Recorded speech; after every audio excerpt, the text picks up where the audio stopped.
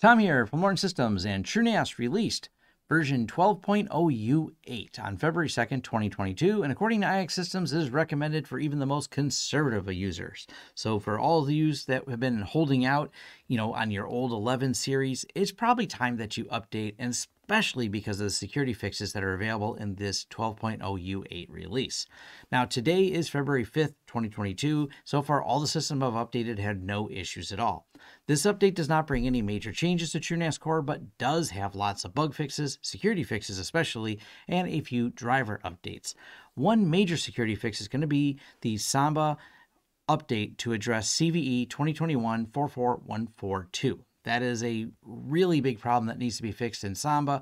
And I really recommend, because this affects all the versions prior to 12.0 U8, I really recommend you load this and get this fixed. This is a pretty bad bug. I will admit, though, it is not a default configuration. So this bug won't necessarily be trivial, trivial to exploit by just anyone. It's going to be certain configurations that we'll go over that kind of create a convergence of problems to allow this bug to happen, but it's definitely a really bad bug.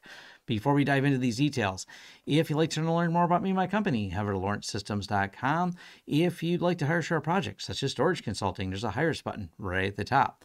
If you want to support this channel in other ways, there's affiliate links down below to get you deals and discounts on products and services we talk about on this channel.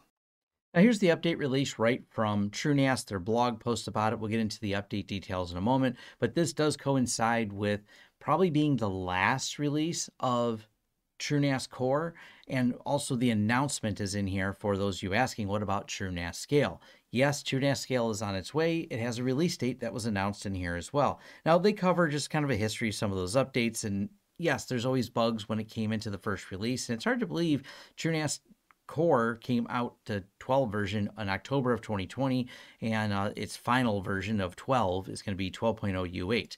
Not a discontinuation of TrueNAS Core. It's just going to version 13 after this.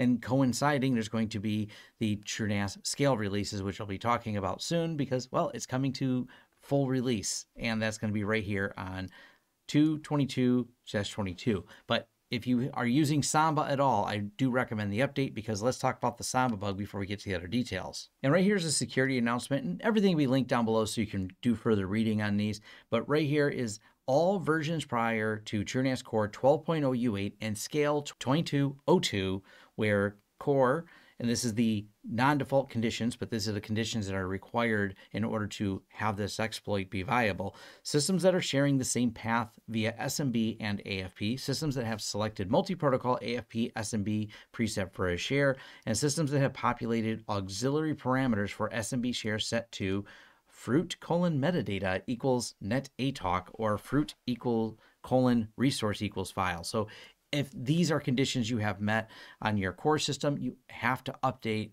immediately or you could face a real problem if someone was inside your network and had access to Samba. Now, normally, and I see normally because I'm sure somebody's doing it, unfortunately, Samba should never be exposed to the internet. So this is not like a remote type of thing. It's local to your network. The threat actor who's trying to perform this particular exploit is going to have to be local to your network in order to do this.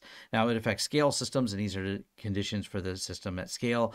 And I'm not going to cover every little detail in it. Scale still in beta, but if you're using it, update that as well. There's fixes for both platforms here. Now on to the full release notes. I'm not going to read through all of these here. There's a Samba CVE notice we covered, a few FreeBSD security patches, a few improvements. OpenZFS is now at 2.07.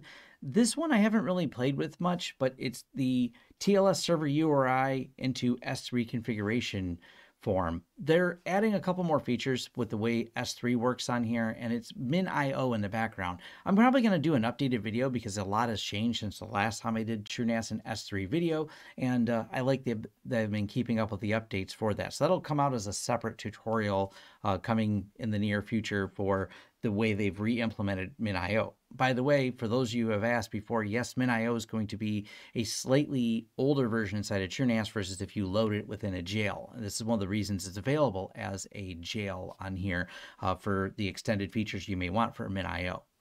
Now, they did include the new Intel drivers uh, for the i225 Intel NICs, and then just a long list of lots of little bug fixes here and there.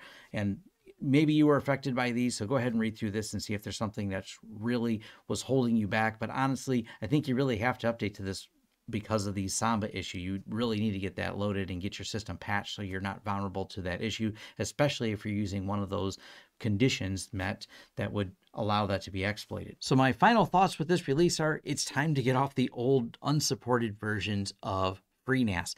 It is time to move on to version 12.0 U8, and then you can sit on that for a while before you start testing with 13 when that comes out. And yes, there'll be more videos on TrueNAS Scale, especially with it coming out so soon here on 2 22 22 you know, great timing that they picked that as a release date. So there will be some more videos coming on the channel for that. In the meantime, head over to the forums where you can find me or say hi to me on Twitter and wherever social platform I'm on when you're watching this sometime in the future. All right, thanks. And thank you for making it all the way to the end of this video. If you've enjoyed the content, please give us a thumbs up. If you would like to see more content from this channel, hit the subscribe button and the bell icon. If you'd like to hire a project, head over to lawrencesystems.com and click the Hire Us button right at the top.